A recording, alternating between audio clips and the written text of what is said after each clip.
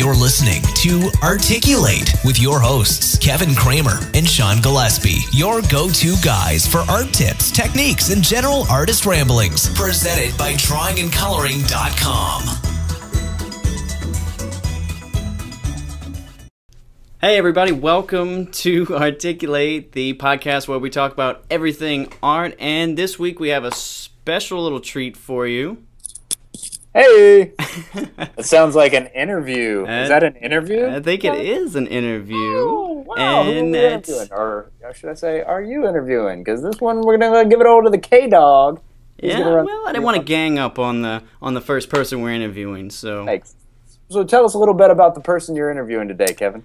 the person I'm talking to today was Cindy DeBold. She is actually the creator of the Compose It grid system, which Hmm? is actually really useful. And if uh, let me see, I might have one up here. Oh, oh. Yeah, look at that. That's Yeah. one of them. If you can see that. I can't see that. I don't know what that is. What is that? That is one of the products that she has. It's a grid, which you basically draw, you hold it up, and then you draw the outline of whatever's in front of it through the grid. It's basically like a like a new age Dürer grid. Oh, okay. So it just breaks it down. What you hold it up and you look through it, like, and Yeah. like your subject is there, and it just breaks down the proportions for you. Kind of like people hold up their pencil or their thumb. Exactly, exactly like that. And There. they have them in bigger sizes. This is just the first one I could grab, but Oh, you need a life size one. Yeah. yes. Very cool, man. Well, I look forward to hearing this interview. Yeah, and I uh, look forward to playing it for you. So, uh, without further ado, here it is. Hi, everybody. Welcome to the call. This is Kevin Kramer, and I have a very special guest with us today. Uh, she's been an artist for over 20 years, lived all over the country, has works in several museums, and uh, member of many art associations throughout Texas, and just uh, really great artist that I'm really proud to have on the call today. And uh, her name is Cindy DeBold. Cindy? Hi, Kevin. How are you? Good, good. How are you doing? Pretty good. All right. So, I guess what uh, we wanted to kind of start off with is uh, what what was where did you start? What is the kind of the background, or uh, do you have any kind of formal training, or did you just kind of start on your own? Well, I decided I wanted to be an artist when I was eight years old, and then always took art classes, and then went to art school in in California. And when I moved to Texas about 25 years ago, I didn't know what medium I wanted to work in, and I kind of discovered sculpture. And so I did sculpture for 20 years. And on a trip to Hawaii, I was noticing all the beautiful landscapes and the colors, and I realized I couldn't sculpt color. So I decided to start painting. Okay. And when I started painting, we were in San Miguel, Mexico for about three months, and we were taking some classes. And I wanted to do uh, painting of, we were on a second floor looking down into a courtyard with a fountain with all the arched buildings or the archways. And it just seemed too confusing to put that on my on my canvas mm-hmm. and so as i was staring at it i realized or i came up with an idea to make it a lot simpler and so i went and i got the parts and i came back and and drew a proportional grid on a on a clear piece of plastic and and then I was able to to do the drawing and then transfer it to my canvas really fast.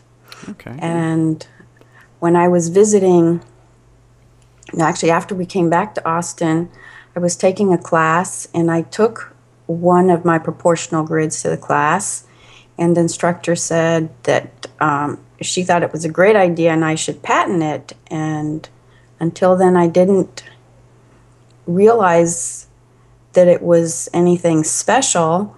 And then I went uh, on the internet to try to see if there was anything like it, and I couldn't find anything. And eventually I did patent it.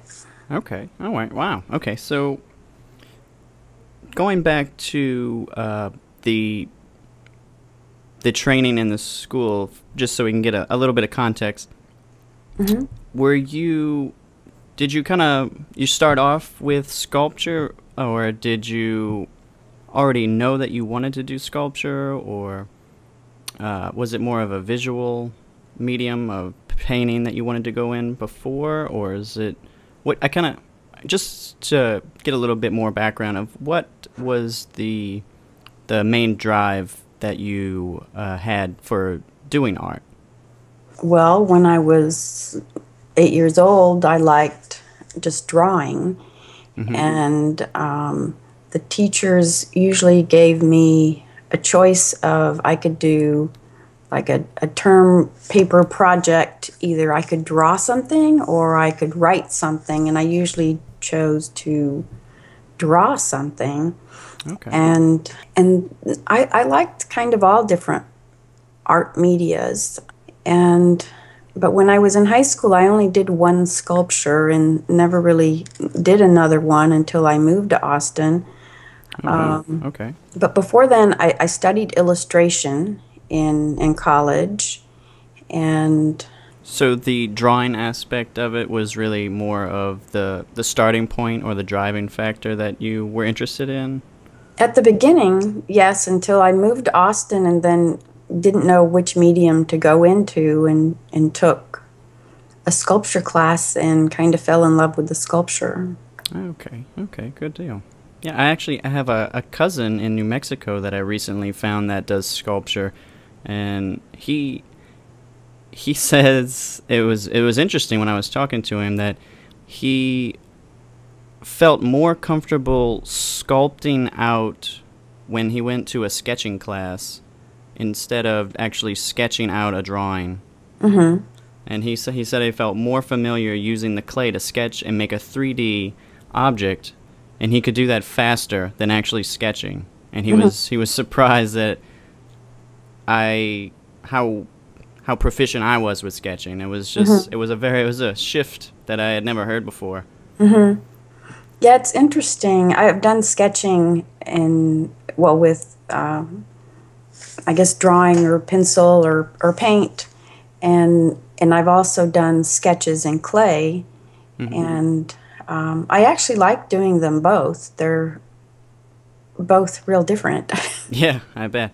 Uh, I've I've actually I've done a little bit of sculpting in my day, mostly in um, it was in middle school. I did a, a Mount Rushmore clay uh, sculpture that came out actually surprisingly good, but the the drawing factor more was more of where I leaned to. Uh, couldn't. Um, all this sculpture was very interesting. I was just I was just trying to see what uh, what was that main shift that you that really got you to go from drawing to that other medium. It was just you just started using it. Well, I guess the first class I took was a bronze making class, which is kind of starting at the end in some ways as far as sculpture goes. Yeah. But yeah. my very first sculpture was an abstract piece, kind of two stick figures, and um, it's still one of my favorite pieces. And and then the very next sculpture, I did a realistic um, sculpture, and I like that one a lot too. And I've actually sold a lot of that one. I even sold one just recently. Oh, wow.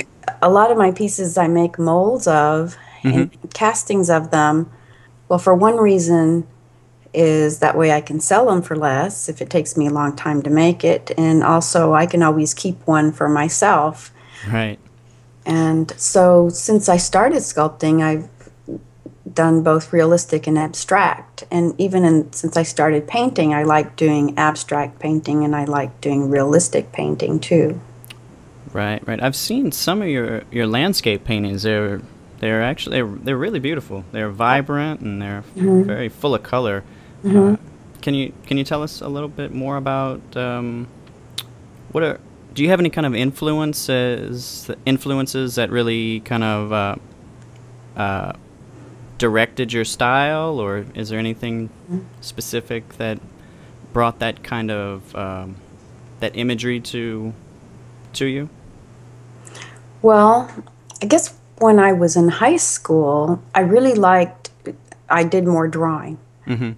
and I was probably more influenced by the drawings of like Leonardo da Vinci and more classical, traditional Right, right. But then when I was in college, I really started doing more painting, and I my two favorite artists then and still today is Van Gogh and Matisse. Okay. And, yeah. um, Okay. I could definitely I could definitely see that in your in your paintings. And Mm-hmm. Well, thanks.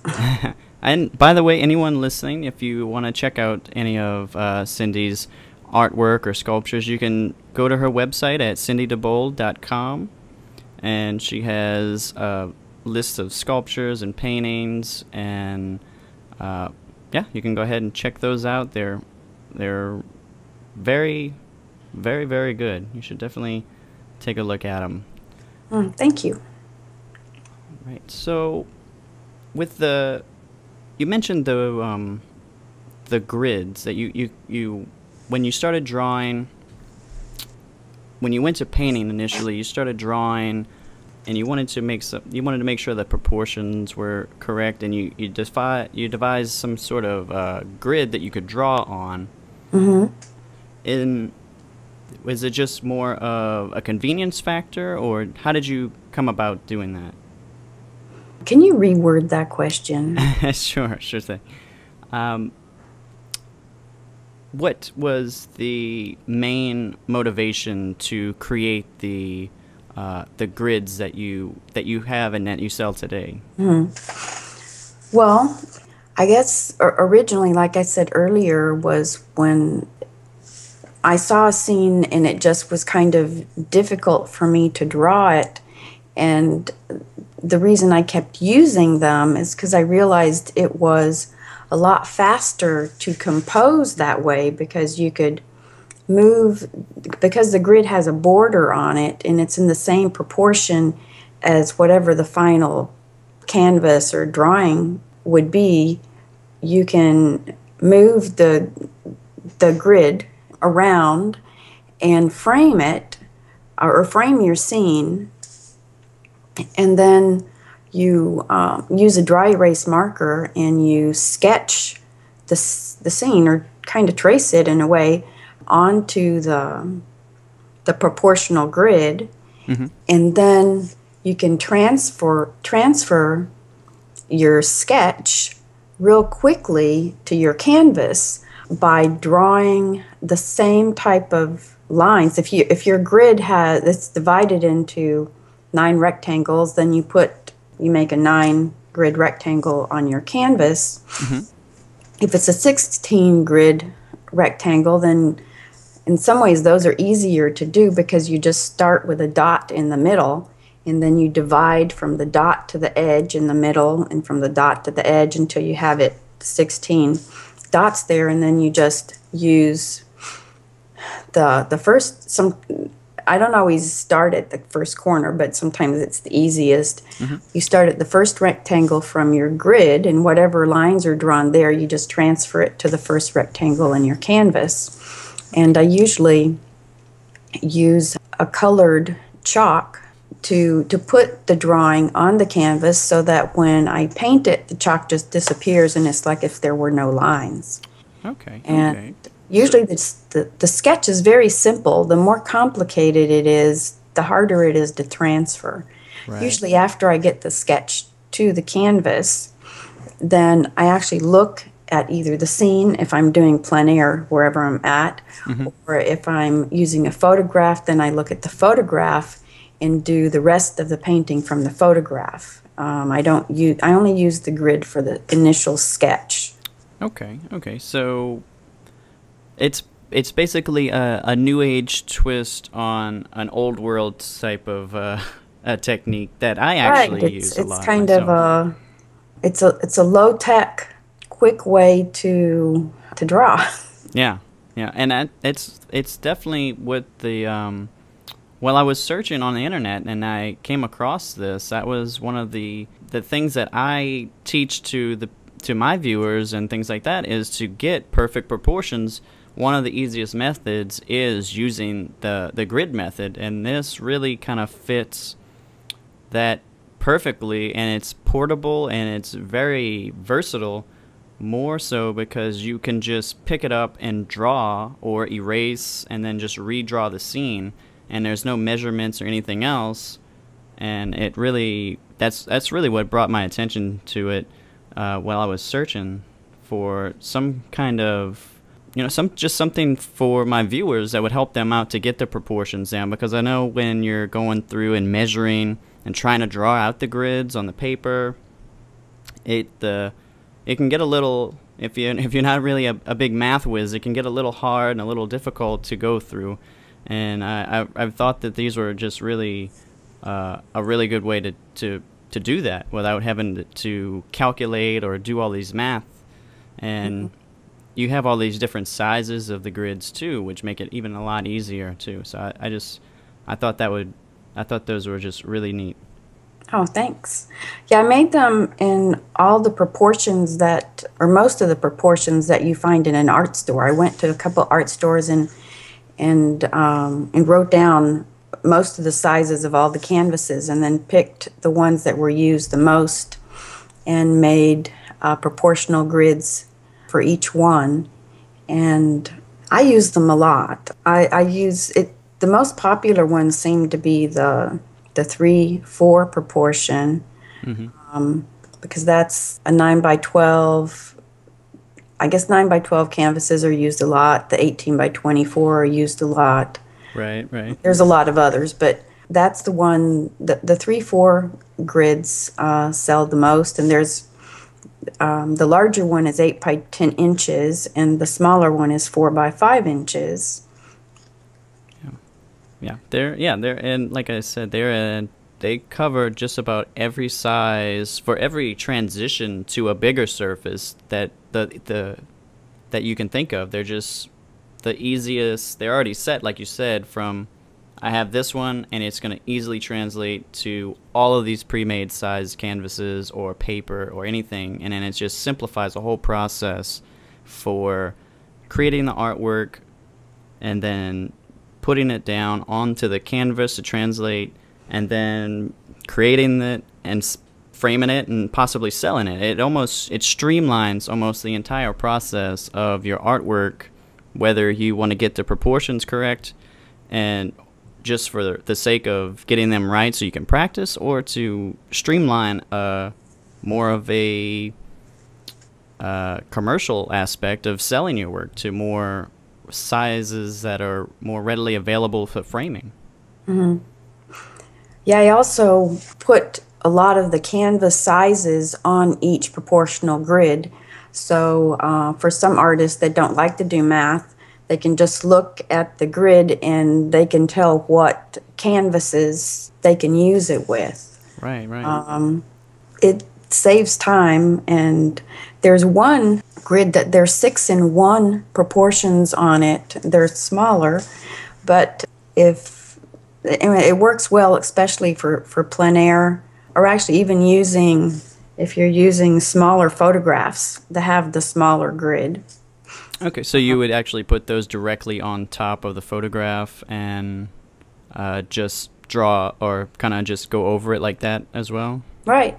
Yeah. And it like has a square proportion in the 4 by 5 which is i guess the most common 4 by 5 proportion is a 16 by 20 canvas yeah yeah and it's because it's almost like um i am a very big fan of chuck close's work mm-hmm. and he uses grids ex- pretty much exclusively in all kinds of different ways mm-hmm. and i've studied his method and it it's like i have i take my photo I do I put it onto a mat board, and then I take the clear acetate, which would basically be like your grid, mm-hmm. and then I have to measure out and draw the grid on top of it. Mm-hmm. And these actually kind of just take that step out of it and make it a lot simpler. Yeah, it just saves time. Yeah. I first did grids a long time ago most all the grids were like one inch. But so you basically you needed a ruler and then you know measure it all across. Right, right. Um, yeah. The, so these proportional ones, let's see, I guess uh, the proportional ones, usually they're pretty simple grids, especially the one where you just put the dot in the middle because it's easy to just divide it in half. You can do it visually, although some artists I've noticed probably should use a ruler because they're not very good at getting their rectangles yeah. close. Yeah, no, that that's definitely one of the the challenges of gridding itself. That's why I mm-hmm. was that's why these standardized sizes are perfect. Mm-hmm. yeah. All right. Well, I do have one one more question before we wrap this up and it's going to be more of a kind of a, a personal art question. And Okay. and that is if you had to choose one key distinction that took your artwork to the next level, thinking back, what what would it be? Hmm. Okay, reword that again. If there was one thing that stood out the most to you throughout your art career that really was a determining factor that got it to the next the next level, what what would that one thing be that you could think of? I can't think of one thing. no. But one thing that I've really learned a lot from uh, over the years is taking workshops with different artists. I've always learned so much from the workshops, and I've done both sculpture workshops and painting workshops, and I try to do at least a couple of each a year. And Do you have any that you could recommend to the people listening? Hmm. well, I guess it depends what they want to do. Well, uh, more of the people that listen to to my things are gonna be more visual, kind of uh, drawing type. Do you have any kind of uh, visual Let's see. type of? Well, the visual ones, I mean, drawing on the right side of the brain is a book. It's not a class. Well, actually, there are some people that teach classes in it. right, right. I have actually seen those. I think. Mhm, But that book is really good, and actually doing the exercise in it, exercises in it, is very helpful. Mm-hmm. I think they actually have a workbook too now that goes along with it that has a mm-hmm. lot more exercises too. Mm-hmm. I mean, that's really good. I mean, the drawing upside down is uh, really amazing. It, it really helps switch, I guess, left brain dominant person to the right brain. Eventually, I guess most artists eventually get to the point where they can switch to the right side of the brain faster because it's easier to draw when you're using that side. Yeah, yeah. I definitely know that I whenever I get in the zone, I can I, I can feel it. It's a it's a weird kind of uh, shift in your in your brain that you can just you can feel when you're in the zone. It's it's very interesting. It's almost like meditation. Yeah, it actually is. That's a that's a good Okay. analogy. artists enjoy doing art because it is very meditative. Mhm. And so it's real relaxing uh, when you get in that zone. Okay, so the so the the main thing that you you're saying is to get around basically other artists in live environments and just kind of exchange ideas and just kind of get into the into the scene. Mm-hmm. Yeah. Yeah, I think that's the best that I've, well, I could recommend. There's some plein air groups around that actually get together and some paint and some draw.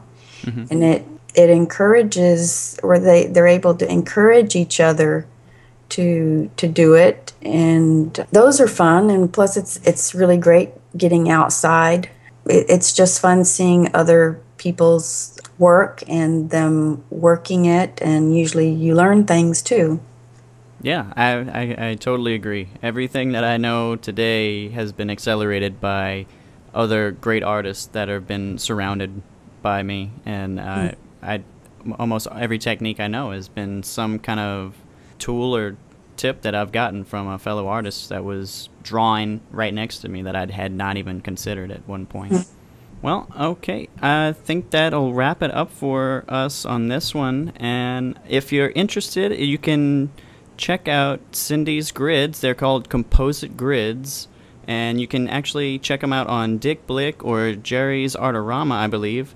Or you can uh, click the link below this audio and check them out there. I highly recommend them. They are they will simplify and streamline your proportions and drawing for anything that you want to get onto another larger surface or just to practice with. So, Cindy, thank you again. I appreciate you taking the time to uh, be on the call with us today. And y'all have a, a great day. Well, thank you so much, Kevin. Thank you. Till next time. I really enjoy your your videos. Ah, thank you. All right. Y'all have a good day. You've been listening to Articulate with Kevin and Sean. Subscribe on iTunes or check them out on drawingandcoloring.com. Always reminding you to keep it simple.